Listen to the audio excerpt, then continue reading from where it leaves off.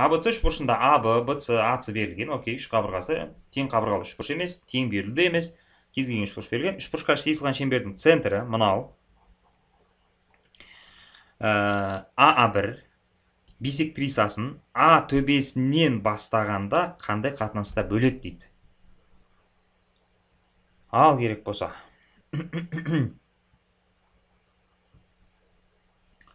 так менді серьезно дейді серьезно серьезно бұл есептерді мен вообще қарап бірінші рет көріп тұрмын қазір. Мынау енді серьезный есептер екен. Бүгін бар ғой. Бүгінгі есептер осы уақытқа дейін шығарған есептердің ішінде ең қиындары мынау. Сразу айтамын мұндай қиын есептерді мен талдаған емеспін әлі сіздермен. Ә, вообще қалай подход жасаймыз мына қараңыздаршы. Бисектрисаны қалай бөледі дейді да? Блин. Вообще керемет есеп негізі. Так. Подход көп шығарудың қиылысу нүктесінде вроде. Жоқ қиылысу нүктесінде екінің бірге қатынасына бөлінеді деген ол медианада. А, қараңыздар. Мен қазір мынандай әдіске көшіп кетемін. Кішкене қулық жасаймын. Бізде бізде бисектрисаның мынандай қасиеті бар. Міне мына а бірдің б ға қатынасы тең болады.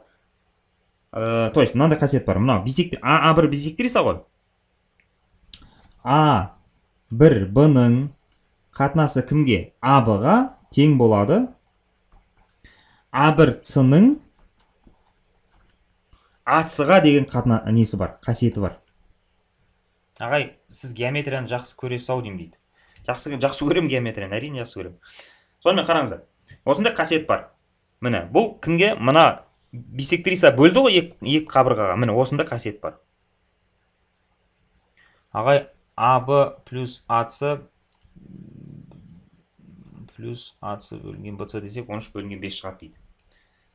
Оны қайдан алғаныңызды білмедім бірақ енді мен түсіндіріп жатырмын ғой бұл жерде. Қараңыздар осындай қасиет бар. Енді тура осы сияқты бізде мынағанда жаза аламыз ғой осыны. Қараңыздаршы міне. Мынау міне мына үшбұрышқа қараңыздар. А а бір с деген үшбұрышты көріп тұрсыздар ма? Осы жерден де жазуға болады. Неге өйткені?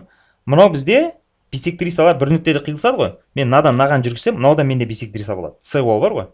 Сонда бұл жерде мен қандай қатынас жазамын қараңыздар. О а бірді мен неге бөлемін о аға бөлсем или а оға разница жоқ. Ондағы ол неге тең болады екен? А бірдің неге қатынасына? А ға қатынасына.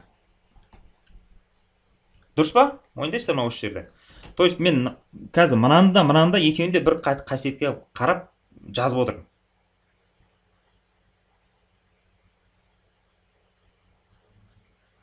Мынау түсінікті болды ма? Мына мына үш бұрыш мына үш бұрыштан жаздым. Мен мына жерге жазып қойшы қандай үш бұрыштан ол қатынас жаздым? Үш бұрыш а а бір цдан жаздым мынаны а мынаны үш бұрыш а б цдан жаздым. Үлкен үш бұрыштан жаздым. Міне то есть міне бізден сұрап жатқан мына нәрсе ғой міне. Мынаны тап деп жатыр бізге. Как раз осы керек. Мына мен мынаның қатынасын сұрап жатыр ал оның қатынасын табу үшін бізге енді мынаның қатынасын тапсақ болды екен ғой. А бір бөлінген а бір ны а ға қатынас. Енді қараңыздар. Аб менде қанша? Алты. Мынау қанша? Жеті. Иә? Ац жеті бц бес.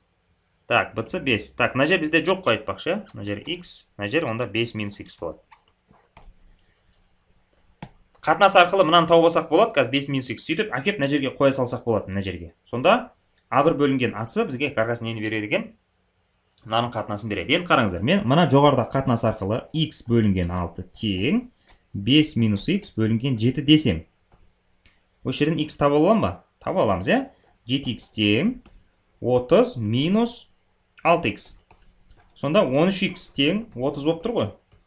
X тең 30 бөлінген 13 негізі мына жерде x дей салу керек еді өйткені сразу шығады жарайды ештеңе етпейді.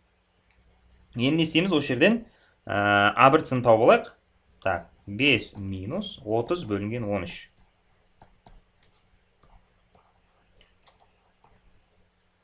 так ә, ой не істеп жүрмін 35 болады иә мына 65 болады 35 бөлінген 13 болады иә а бір ц түсіндіңіздер ма мынау а бір ц міне 5-тен азайттым нені мына x-ті сонда мынаған ортақ бөлім бердім 65 болды 35 бөлінген.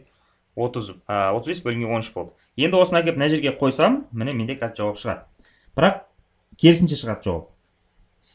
Бізге нені табу керек? Негізі бізге айтты ғой қараңыздар. А төбесінен бастап санағанда қандай қатынаста деген сөз бізге наоборот қалай табу керек? О аның о а бірге табу керек. Ондай болса біз наоборот қазір а ны неге бөле саламыз? Мынау тең болады. А ны а бір ға бөле саламыз. Так а деген бізде қанша? жеті. Соны неге бөле саламыз? Мына тапқанымызға. Так 35 бөлінген 13-ке сонда не істейді? 13 жоғары кетеді мына екеуі қысқарады да 13 бөлінген 5 шығады екен мінекей. Міне жалпы бесіктегі санның екі қатынасы арқылы осылай тауып ала салдық. Енді бұны басқа да жолымен табуға болады. Енді мен именно осылай ғана шығару керек деген сөз емес бұл. Мысалы мен осылай көріп тұрмын да мына қатынасты. Немесе біреулер былай алуы мүмкін. Міне мен былай аламын деуі мүмкін біреу. Мынамен мынаны қатынаса мынамен мынаны қатынасы деуі мүмкін. Пожалуйста олай да шашсаңыз болады. Без разницы міне. Мынаның мынаған қатынасын мен алтының мынаған қатынасы деп аламын деуі мүмкін біреулер. Алсын дәл осы шығады міне өйткені x дайын тұр ғой қараңыздар міне. Дайын тұр ма? Дайын тұр. Болды. Дәл осы жауап шығады